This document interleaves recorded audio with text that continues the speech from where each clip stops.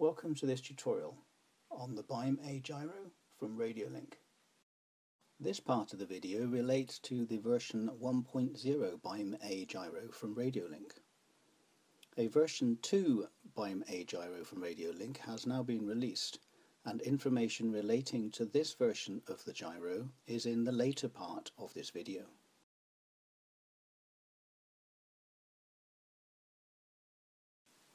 This is what you'll receive in the packet. A handy card that contains links to the manuals for both the gyro Byme A and Byme D.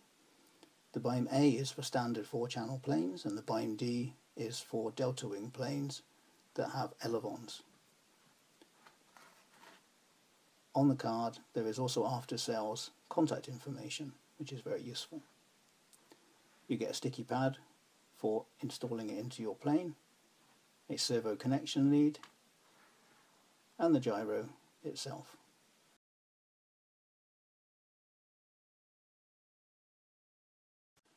This is the gyro itself, and it is actually very small, as you can see. It has five connections on the end here in standard servo format with three connecting pins, and then it has a button on the right hand side here for reversing the channels. And as it states here the input is 6 volts. It'll run off 5 volts as well. So the input here in terms of the S bus or PPM is the top one. And then you've got four channels here for the outputs from the gyro. And they have to be in the correct order. So channel 1 has to be ailerons. Channel 2 has to be elevator, channel 3 is throttle and channel 4 is a rudder.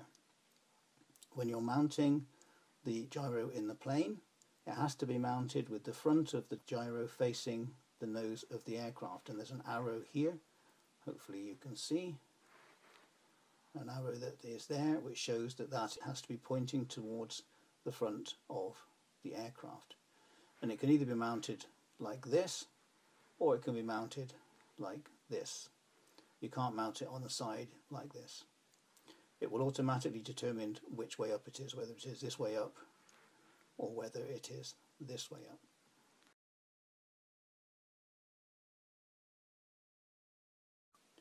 I will throw a picture up on the screen now showing a larger sized view of the gyro so that you can see the connections on the input and for the output.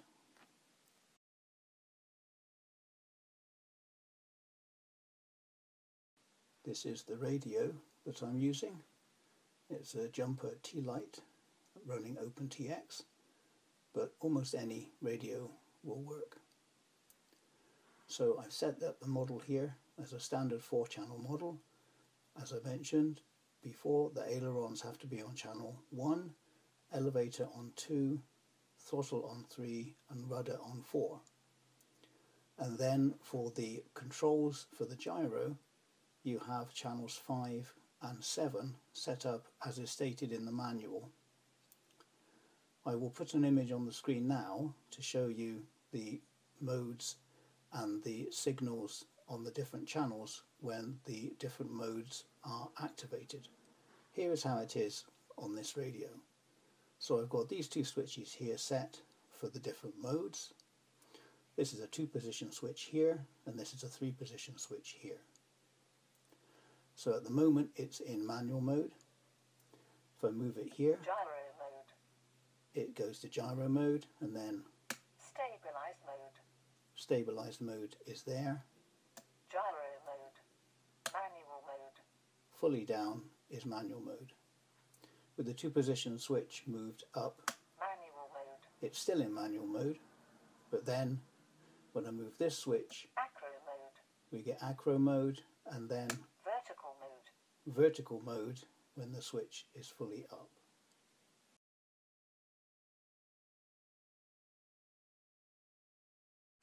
There is a potential gotcha in the manual with regard to the throttle channel. In the manual it says you should reverse the throttle channel. That is incorrect unless you are using a RadioLink radio. All other types of radio already have the throttle channel reversed, so you should not do that. And in fact, if you do reverse the channel, it could result in a very dangerous situation where the motors will spin when you think they are off.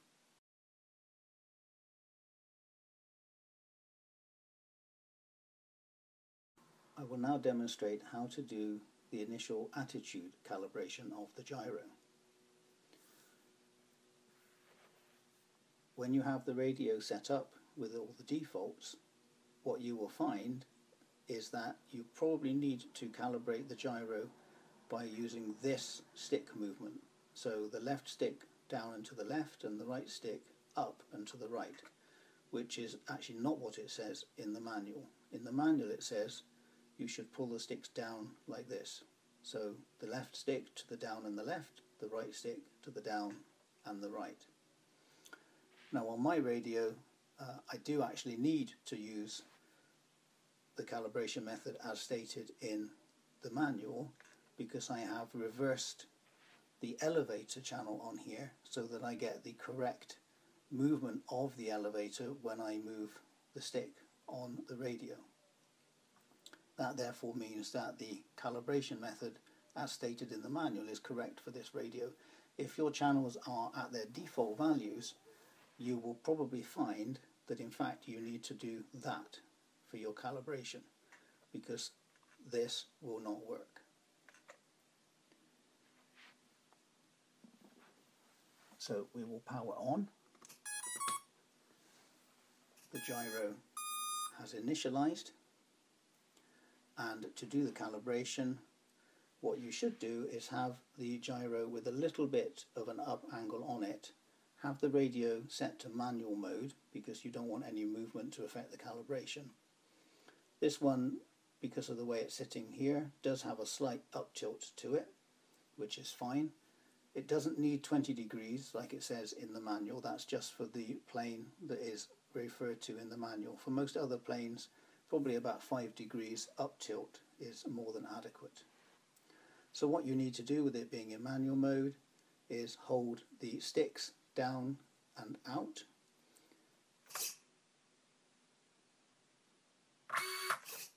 As you can see, the gyro has flashed, the motors have spun, and that is the initial calibration done.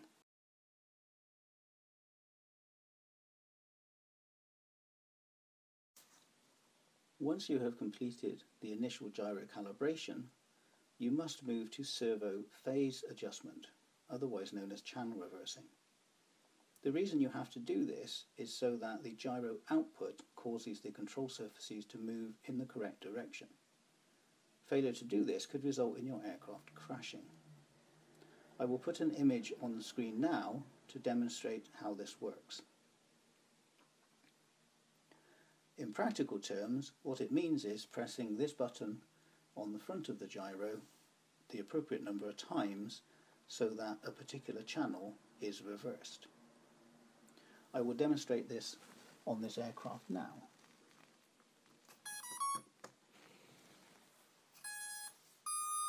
After having powered on the gyro, you will see that it is initialized and we have two lights on.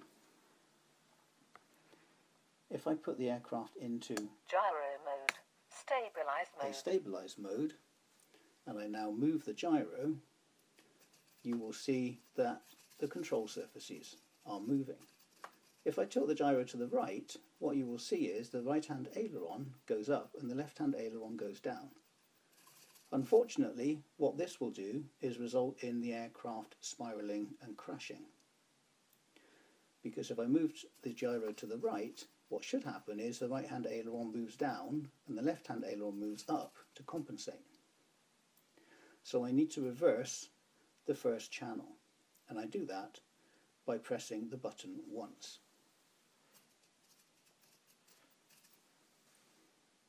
which I've now done and the light has come on. Now if I move the gyro to the right you will see the right hand aileron goes down and the left one goes up which is correct and will stabilise the aircraft.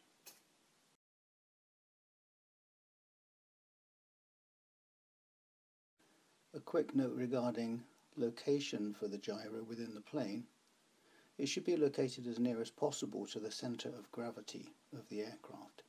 This will ensure the best response of the gyro to aircraft movement.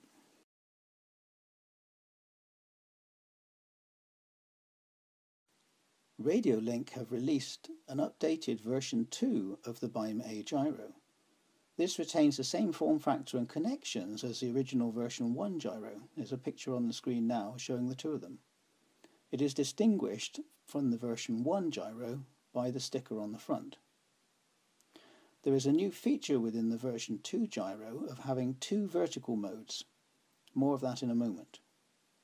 There is also an updated instruction manual, and it is very important to follow the details in the instruction manual because the channel values for the modes are different than they are with version 1 gyro. The manual also addresses the point about throttle reversing and attitude calibration stick positions.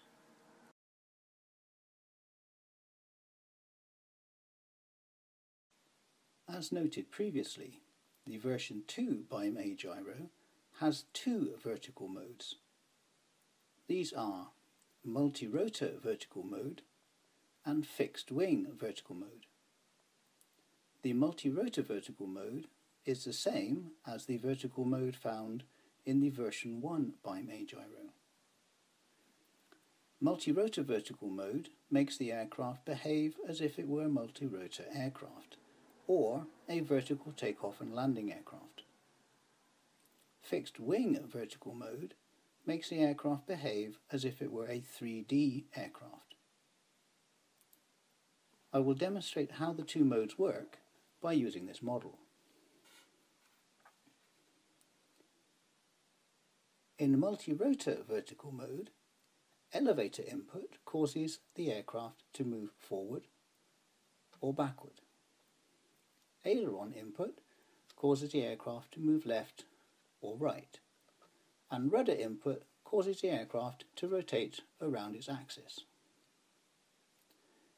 In fixed wing vertical mode, elevator input causes the aircraft to move forward or backwards Rudder input causes the aircraft to move left or right, and aileron input causes the aircraft to rotate around its axis. Here is some flight footage using the Byme-A gyro. It is fitted in an Atom RC flying fish plane. I am using an 850 mAh 3S GNB battery. I hope you enjoy the flight. We're here at the field with the Atom RC flying fish plane and I've got the T-Lite transmitter. Everything's bound up and set to go. I'm just going to demonstrate the modes on the plane. At the moment we're in manual mode so when I move it around nothing happens. If we change it to gyro mode you'll see that it responds. Hopefully you can hear the servos moving there. Responds to movement. If we put it into stabilized mode, then what you can see is the surfaces here will actually stay to self-level the plane. So it's back to level this way, and then for the elevator, nose down, it obviously tries to pull the plane back up, and again for that. So that all seems to work okay. I'm going to launch it in stabilized mode. Uh, we've got rates on medium to start with and we'll see how it goes. Hopefully it will be fine. So here we go with the maiden.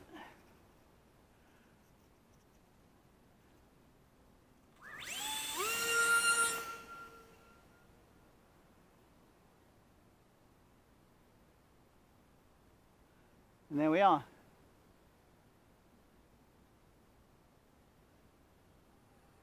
Flying nicely.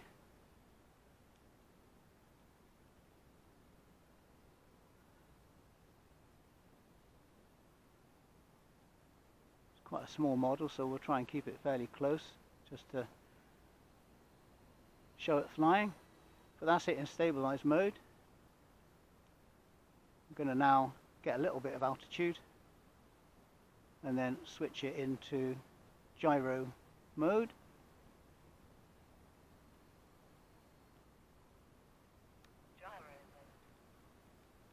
and I will get more control at that. It seems to be fairly well trimmed out. Doesn't look like it needs a lot of trimming. Bring it down a little bit lower.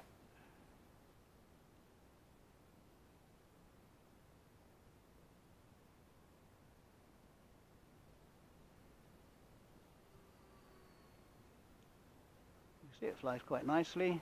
Let's see if we can do a roll. Yeah, do a roll, see if we can do a loop. Plenty of power.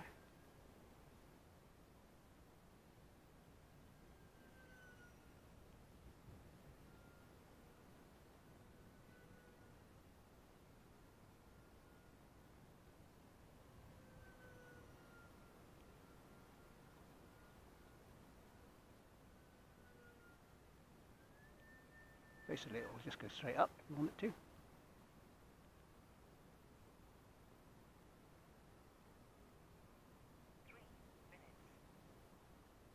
That got small very quickly.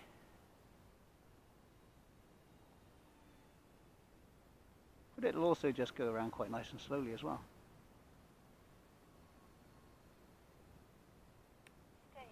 Put it back in the stabilized mode, you can see it all automatically leveled the plane.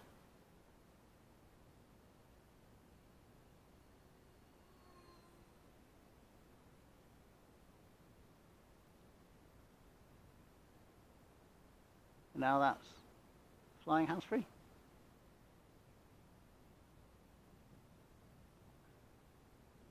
And the gyro is doing its job. Thank you for watching this tutorial on the installation and setup of the Byme A gyro from Radiolink. If you have any questions about using the gyro, please contact After Sales Service at Radiolink.